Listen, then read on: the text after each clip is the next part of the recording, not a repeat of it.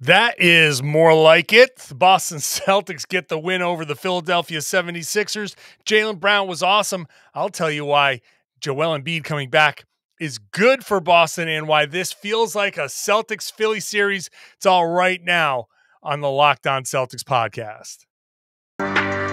Be ever ready. Recognize the city of champs. Boston, baby, we do what you can't. Locked on number 18, Tatum and Brown, J team. Step back, we gon' wet that and slay teams. Of course, the Celtics, who else could it be? Screaming like KG with the Larry O.B. Corrales above average, assessing the team status. Best daily pod, no cap salary matching. Clutch like Bird the DJ, keep John on replay. Prime time, dapping up the truth on the sideline. Rainy J's, how it started, raising banners, how we finished. Locked on Celtics pod, home of the winners. B.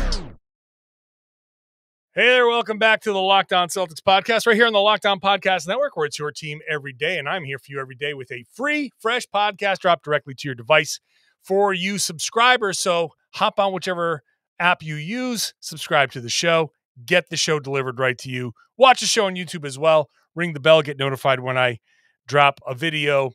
Hop into the comment section. Tons of comments, top tons of uh, Sixers fans I almost forgot. I, wanted to say Lakers fans for a second. T- same thing. Tons of Sixers fans in there. Uh, hop in, uh, go back and forth. Uh, probably not going to be talking a lot.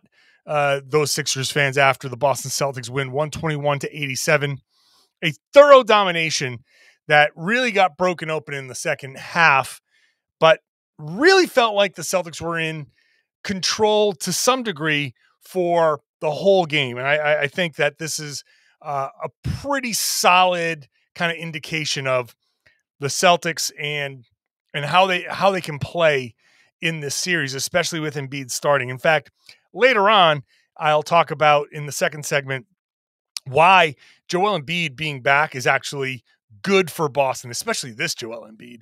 And later on, some of the other individual performances that we saw. Uh, but first, let's just start with this defense. The defensive effort was my big takeaway from this game. That the Celtics uh, played uh, finally in the playoffs a a tremendous defensive game, a defense first game. We talked yesterday about how uh, Joe Mazzulla's comments and and all season long really have shown that this is this Celtics team is a an offense first team. This is an offense offense first get the three pointers. Joe Mazzulla said uh, the other day at practice, uh, we control the game better with our offensive execution. But this this has historically been a defense first team, and this this what we saw in this game tells you why that should be the case. And really, honestly, it's more of a balance. It's hey, you run good offense and that helps your defense because you run good offense, you're going to make shots more often than not. Then you can go back and set your defense. You're not cross matched. You're not running. You're not scrambling, right? You're not trying to defend in transition. Other guys, other teams have the advantage in transition. So when the Celtics run good offense like they did in this game, that helps their defense by letting them go back and set their defense. Then when their defense is set and they can pick up, like Jaylen Brown start with Jaylen Brown because this was Jaylen Brown's night. Jaylen Brown not only scored 25 points to lead the Celtics, he picked up James Harden right away and was up on James Harden right away. Played tremendous defense this entire game. This is this is peak Jaylen Brown in this game. When you can get back and set yourself after mostly made baskets, you can you can say, all right, Jaylen is picking up James Harden. That's the matchup we want and they were getting the matchups they want. So the good offense lets you set your defense. And then when the defense is set, guess what happens? More likely to get the other team to miss, more likely that you're going to force turnovers, more likely that the defense is going to work and you get to get out in transition. You get to, to uh, get easier shots.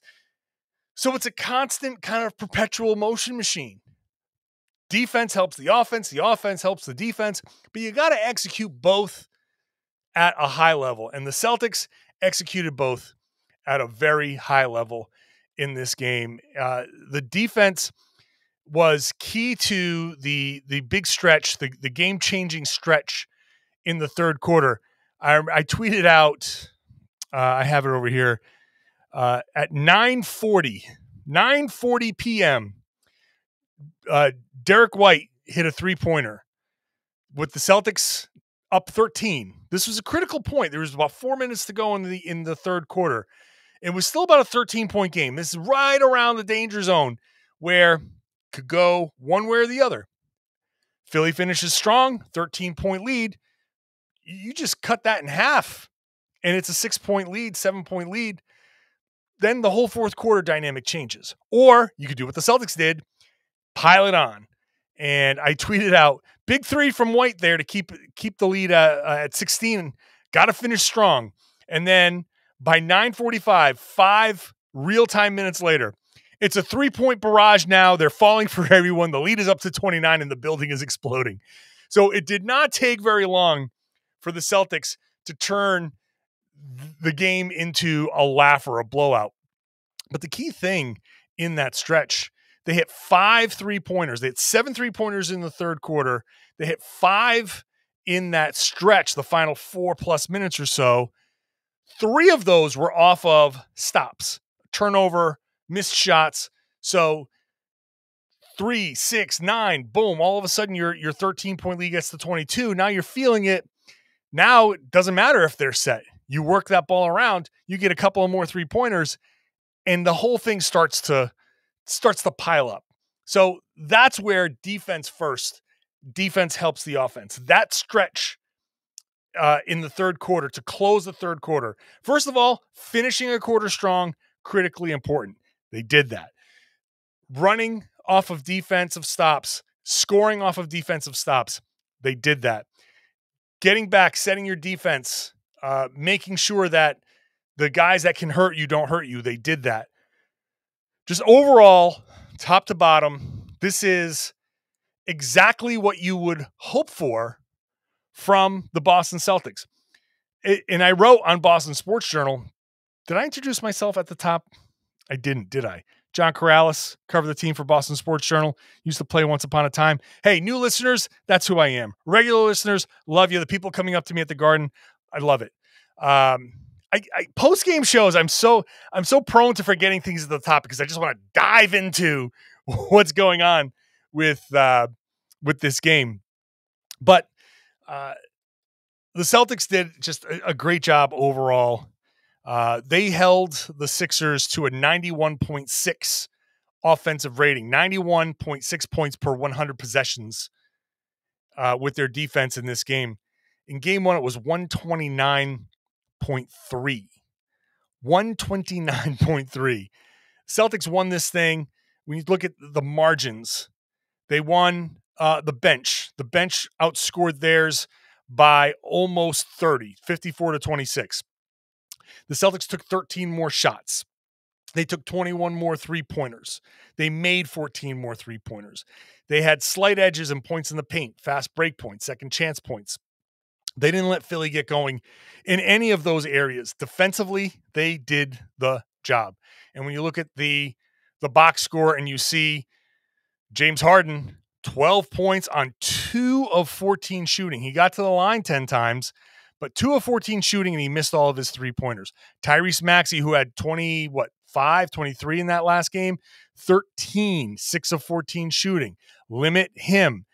Tobias Harris, 16. You limited him. De'Anthony Melton, who had 17 points and was 5 of 5 from three, 0 for 2 from three. They limited everybody else. The only person who hit more than one three pointer for the Sixers was Tobias Harris, who was 2 of 5. Everyone else only hit one. Tucker was one of one. Maxey was one of four. Niang was one of two. McDaniels was one of three. They were six of 30 overall from three. Meanwhile, the Celtics were 20 of 51. There's there's your difference. There's your difference right there.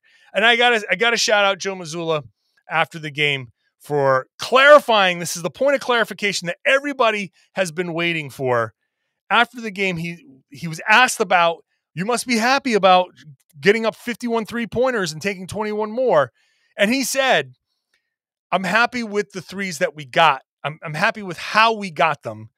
Um, I'm, I don't like taking them just for, you know, jacking threes just for the sake of jacking up threes, which, oh, wow. it's, it's nice to hear that clarification from Joe Mazzulla because I feel like a lot of people might think, yeah, he just wants them to jack up threes for the sake of taking threes. He does not. Um, and I, I think that's that should have been clearer, but it's the first time he's actually come out and said that. Uh, let's get into the matchup here and why I think Joel Embiid on the floor. Joel Embiid played in this game and he did not play well. Why I think that's a good thing for the Celtics that he's back. First, let's talk about eBay Motors. For a championship team, it's all about making sure every player is a perfect fit. It's the same when it comes to your vehicle. Every part needs to fit just right. So the next time you need parts and accessories, head to eBay Motors with eBay Guaranteed Fit. You can be sure every part you need fits just right the first time around. Just add your ride to My Garage and look for the green check to know the part will fit or your money back. Because just like in sports, confidence is the name of the game when you shop on eBay Motors. And with over 122 million parts to choose from, you'll be back in the game in no time. After all, easy to bring home a win when all the right parts are guaranteed. Get the right parts with the right fit and the right prices on ebaymotors.com. Let's ride eBay guaranteed fit is only available to U.S. customers. Eligible items only. Exclusions apply. Want to thank you for making Locked On Celtics your first listen every day. Tomorrow I will be back with. Uh, I'll get Tom Westerholm on. We will talk about the Celtics, uh, kind of the stuff that I'm I, I might not get to in this. In this game, I will be in Philly starting tomorrow and we'll we'll kind of break things down. Maybe answer a couple of your mailbag questions while we're at it. Uh, one thing that that really just stood out to me in this game was how having Embiid back. Well, first of all, this is this wasn't really this wasn't really Joel Embiid. This was a guy who looked like Joel Embiid and who was as big as Joel Embiid, uh, who was uh, big enough to fall on Marcus Smart and nearly crush the poor guy. But with Embiid out there, honestly, the Celtics just match up better with the Sixers with Embiid out there. Game one was such an aberration that five out, uh, four out, up tempo play where Harden is kind of running things and everybody's playing at a, a, a much faster pace. It's actually a worse matchup for the Celtics, but you throw Embiid out there and it's weird to say because he's the MVP and he deserved to be the MVP. I wouldn't have voted for him. I would have voted for Jokic, but you know, whatever. It's not that I'm going to cry over Embiid getting it. He also deserved it. I think Jokic had a, a, claim. I think Giannis had a claim. I think Embiid had a claim. So any one of those three guys getting it deserved it. And so he's the MVP. And it's weird to say, oh, yeah, you need to the Celtics need to have that MVP out there because because that makes it better for them. But the reality is, Al Horford matches up better against Embiid than he does against other guys in the perimeter. Uh, I think Horford is uniquely built to not stop Embiid. I'm not saying he's stopping Embiid. Uh, limit him more than most guys can limit Joel Embiid. I think Horford generally does the best job on Embiid. He does a good enough job where you can send help in different ways, an occasional double, digging down, um, just different different types of you know hedging, any of those things to kind of mess with Embiid's timing and, and all of that.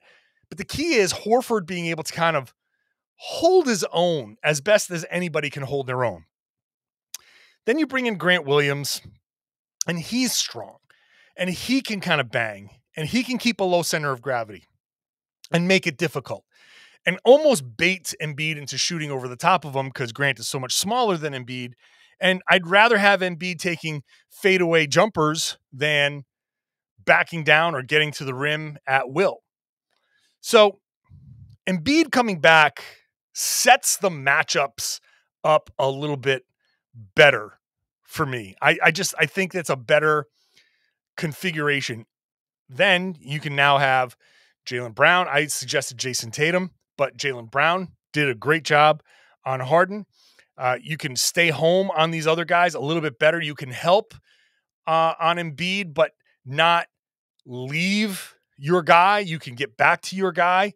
You can see the Celtics not abandoning guys and leaving them wide open at quite as much. Sure, it's going to happen from time to time, but it didn't happen uh, nearly as much as it did in game one.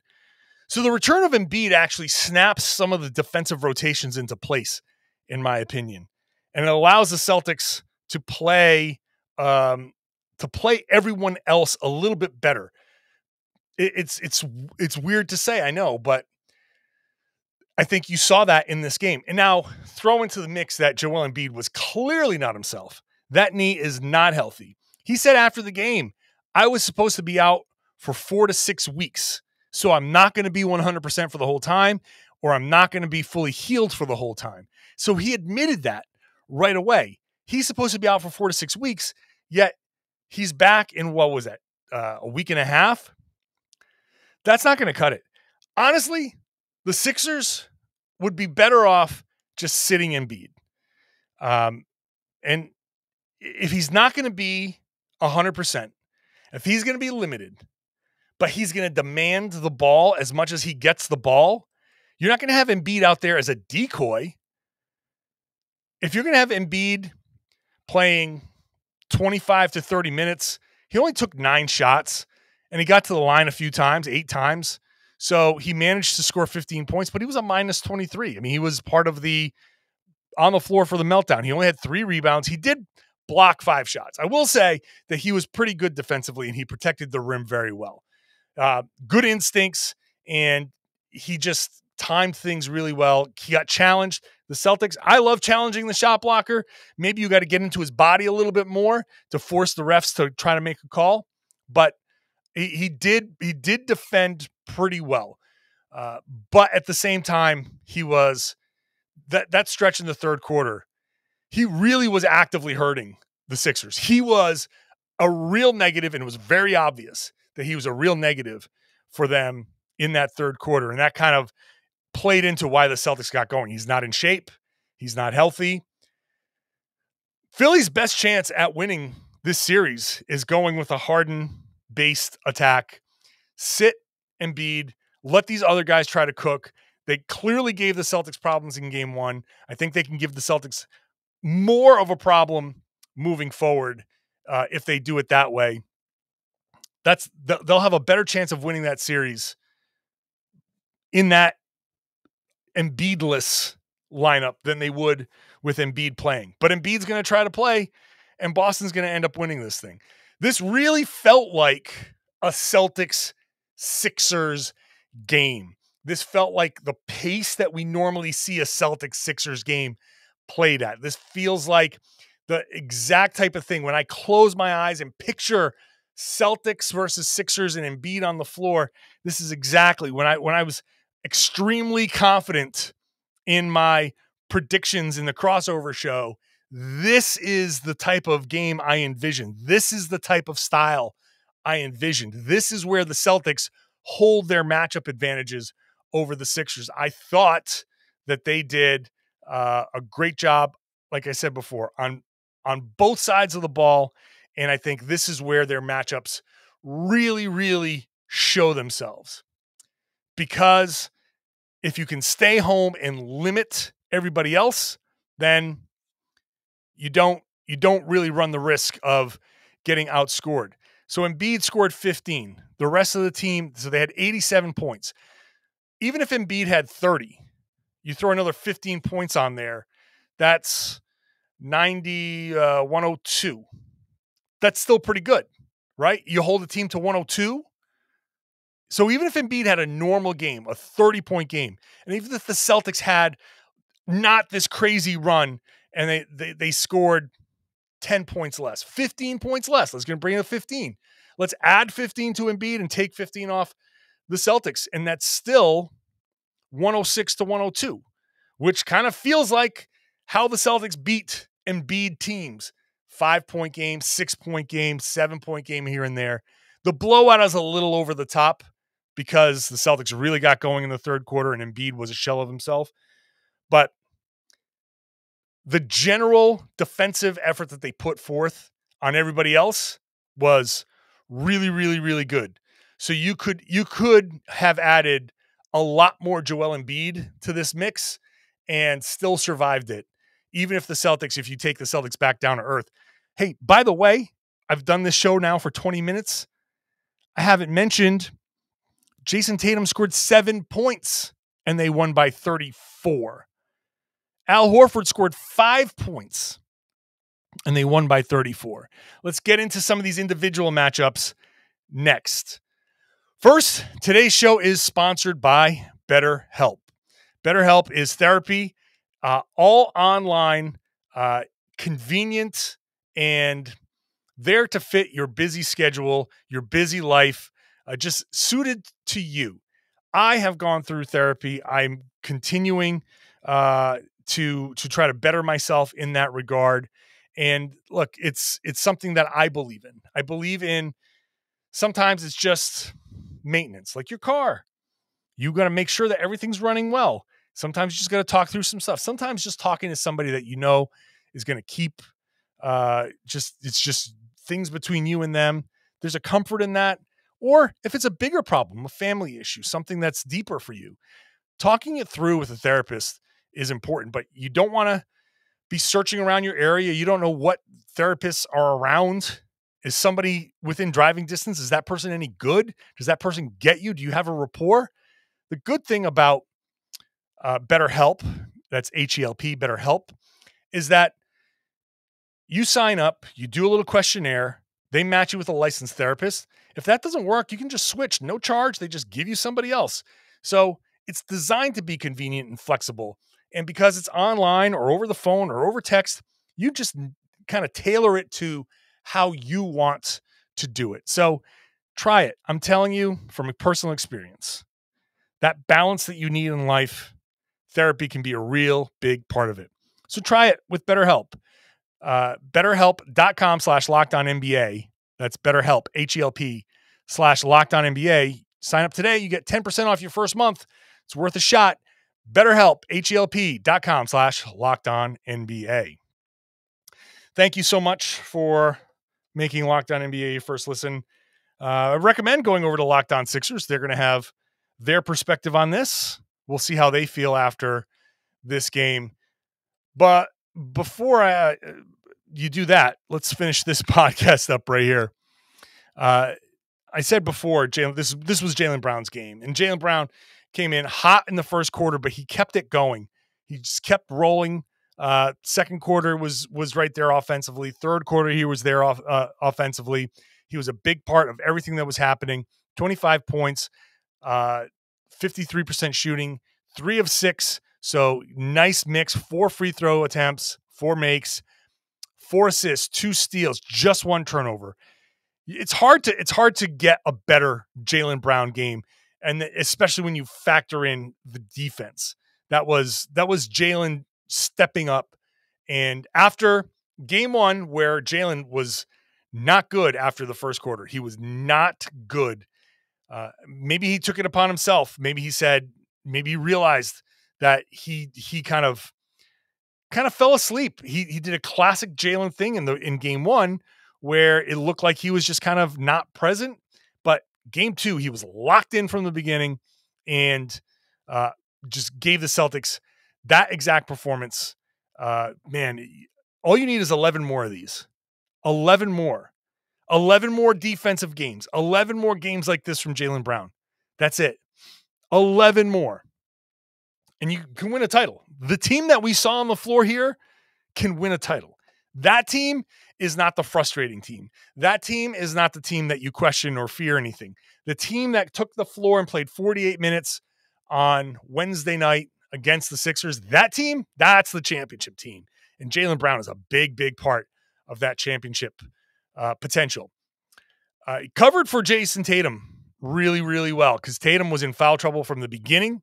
He had some good moments uh, at the beginning. He got to the line five times. So even though he was one of seven, he did get to the line five times and he did have seven rebounds, even though he only played 19 and a half minutes. He did have three assists and a block, uh, but he had the four personal fouls and he was just frustrated. The refs, You know, he, he let the refs take him out of the game. And so uh, that was a rough one. But hey, you know what? On the plus side, he played 19 minutes, scored seven points, and the Celtics won by 34. So take the day off, Jayson Tatum. Relax. I'm happy. Before the game, one of the questions I had for Joe Mazzulla was, hey, is, is Jayson Tatum handling the minutes load? Because he seems to be playing a ton of minutes. I know it's the playoffs, but playing like entire second halves or most of the second half, where maybe you can dial him back by two or three minutes and just let him be more rested. Start to, this is like kind of like a, a, a layover from the first game criticism or just a general criticism of, of Mazzulla but start getting creative with your substitution patterns with Jayson Tatum and Jaylen Brown, especially Tatum, who's played a ton more minutes because Jaylen's missed the time. So he, he hasn't racked up as many total minutes. But third quarter, around the TV timeout, three minutes to go in the third quarter. Take him out at the four minute mark, sit him a minute, take the TV timeout, and then once you come out of the timeout, let the play start and you eh, you, you send Tatum to the table right away and he gets in at the next dead ball. So he sits for 3 minutes worth of timeout and all of that stuff. Sits for a minute before that and then sits for however long, could be 30 seconds, could be a minute, could be whatever. But you can get him sitting down off his feet for 5 minutes and have him really only miss 2 minutes of gameplay. So get creative when you're resting Tatum rest him around the quarter breaks. You know, if, if you don't want to rest him around the TV timeout, rest him around the quarter breaks or do both. Get him in for three minutes and then with 30 seconds left, if you can, pull him out. Get him another little bit of a break. Steal these little 30 second breaks for him while actually getting him more time on the bench. Let him sit for five minutes and four minutes rather than two and a half or three during the timeouts when he's got to walk off the floor and all of that stuff. It's those little, little things where you're only costing him a couple of minutes of game time, two, three minutes here or there, but you're really getting him a lot of extra rest. Do that more often. So, hey, but 19 and a half minutes in this game for Tatum is beautiful. Uh, Derrick White came back to life. That's good. 30 minutes for him, 15 points five of nine. He stepped up really well. Marcus Smart at the beginning of the, the, the game, he really was the catalyst at the beginning. Uh, it's funny. I saw a Bill Simmons tweet like he like he's complaining about Marcus Smart taking as many shots as Brown and Tatum combined, not taking into into account that Tatum was in foul trouble and had sat for a bunch of that first half, and Smart was making his shots. He was making his shots. So seven of fourteen he just in in the second half, he just kind of took that back seat, didn't really do a whole lot. Uh, he was, let's see, one of two in the second half in 844. So obviously, fourth quarter was all garbage time, but he stepped up in the first half when he needed to. In the second half, when the, the bench and Derrick White stepped up, he just took kind of mostly a back seat. He took one shot in the third quarter, and and that was it. Derrick White took four shots in the third quarter, hit them all, scored 10 points. Malcolm Brogdon took five shots in the third quarter. All of them were threes. He hit three of them. He had nine points. Those guys combined for 19. Jaylen Brown, three of eight, and that's he had three assists in the third quarter and two steals. Big time performance. That third quarter is where the whole game got broken open. Like I said before, that's that's the key point in this game. Uh, the Celtics won the quarter 35 to 16, but it was the last four minutes, four and a half minutes or so, where they really got going. And once once one three started to fall, it's like the faucet turned on and and Philly couldn't turn off the water. So Smart had a, a tremendous game.